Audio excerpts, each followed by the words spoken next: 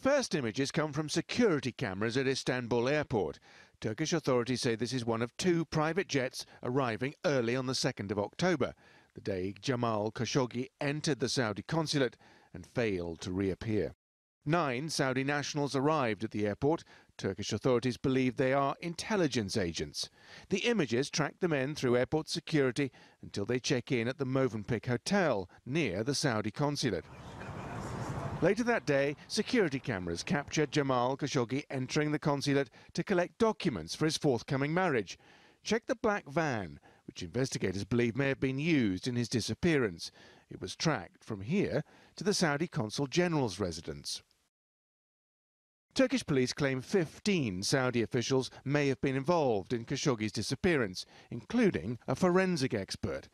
That information adds to concerns that Khashoggi was killed inside the consulate and his body somehow then removed and disposed of. It's also emerged that Turkish members of staff at the consulate were given the day off, the day Khashoggi arrived.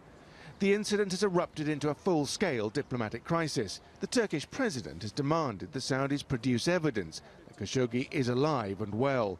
Demonstrations have been held outside the consulate, and internationally there is growing concern about what may have happened to him. We call on the government of Saudi Arabia to conduct a thorough tran uh, and transparent investigation.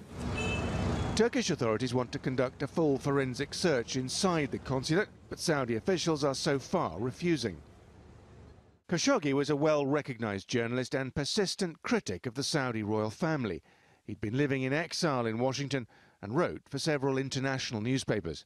Simon McGregor Wood, TRT World.